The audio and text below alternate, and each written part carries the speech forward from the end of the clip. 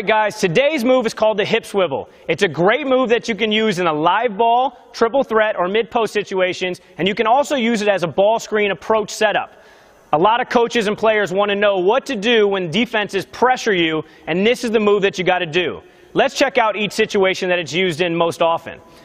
So many times we're in a triple threat situation, we have space. So we're able to face the basket and kind of play with the ball in front of us. But if a defender pressures us or jams our hips, what we have to do is we have to get in a closed stance position. So what I like to do is I like to rip the ball through and get to right here where I can keep my chin attached to my shoulder so I keep vision downhill so I can still be aggressive and make a play. And I don't turn my back right here and kind of shy away from the pressure. So again, I'm comfortable right now. Defense pressures me. Immediately rip the ball so that I have a ball, you, man relationship. And I keep my closed stance position so that ultimately the defender's right here and can't get a hand on the ball. When the defender pressures us right here, they're going to start to lean on us because they're trying to really make us feel uncomfortable.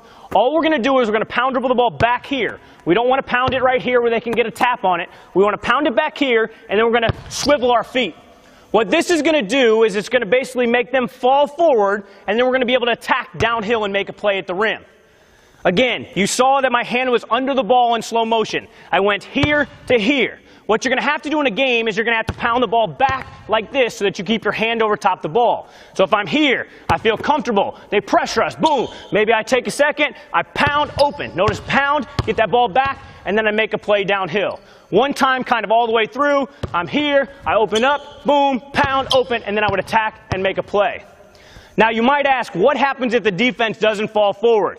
We've got a counter move. Anytime you have a great move, you have to make sure you have a counter move as well. So if we're right here and we rip the ball through, and when we pound dribble the ball and change our stance, the defense says, nope, I'm not letting him go middle. All we're going to do is cross the ball over and beat him in the opposite direction. So that would look like this. I'm here, boom, rip, comfortable, pound, boom, quick, and then I would attack and make a play downhill or maybe make a play to space.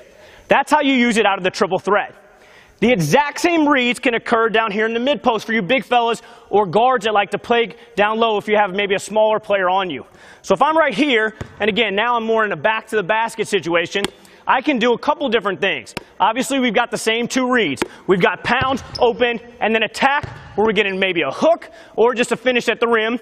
We've got an attack, boom, quick crossover into a pull-up or a fadeaway. And then we've got two additional moves in the mid post because we're closer.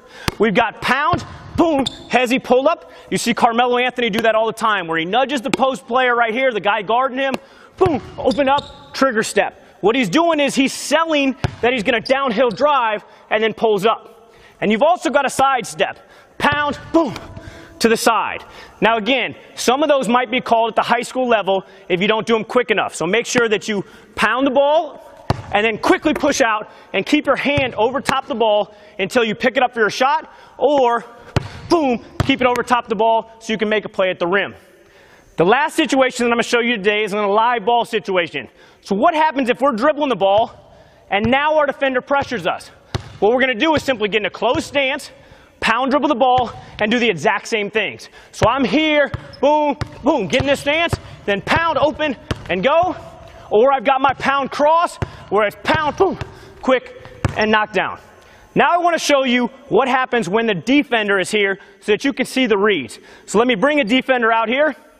Zach's going to help me out. Zach's making me feel comfortable right now. This is how a lot of defense plays in the game. Now, when he pressures me, boom, I get in this closed stance. Notice my chin is on my shoulder so I can see over his shoulder. If I pound dribble, right here, he's leaning on me, boom, Notice right here, I'm going to try to almost push his arm off. This is legal, okay? So you just swipe it down and then get downhill. Let's walk through that one one more time. I'm here, I'm comfortable, boom. Close stance, pound, boom. Right there, and then I'd make a play at the rim. If Zach doesn't fall for that, maybe Zach isn't pressuring me as much as I think, and so he ends up taking away my middle. A lot of coaches stress no middle drives. So I'm here. He forces me there. He's going to take away middle, so I pound. Again, look at my stance. I swiveled my feet. Notice where this hand is. We're going to have to have a low crossover right there, and then we'd attack downhill and make a play. One more time on the hip swivel crossover. I'm here, boom, getting that, quick crossover, and make a play. Now let's go through the four mid-post reads. Zach's downhill, right here. I catch the ball. again, I can see that I can get middle right now, but instead of just doing this, where if he bumps me, I go up the line and have to shoot a bad shot, what I want to do is change my angle, get my hip square to the rim. So I bump him, boom, open. Now I can attack downhill or shoot a running hook, whatever your move is, whatever your finishing technique is, you can do it because you're by him. If he cuts you off, this one's not recommended because a lot of big guys can't handle the ball as well. And a lot of times in the post, they're closer and more physical. But if he, for whatever reason, drops and gives you room to cross the ball over, we would bump, boom, quick cross, and then quick finish at the rim. If he drops back, so say you use your shoulder, you're stronger than him, you bump him right here, boom, then you can, as he pull up? Or if he's longer and taller and you think he might be able to contest and make a play and he's up tight on you, you bump him back, boom, you separate out, and then you create a little more space so that you can get your shot off. The final thing that we talked about was out here, live ball. Again, he has room right here.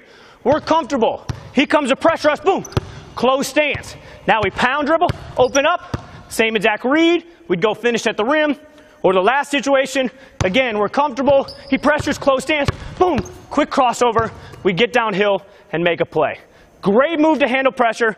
Make sure you work on all the options so that you master it. Thanks for watching. If you want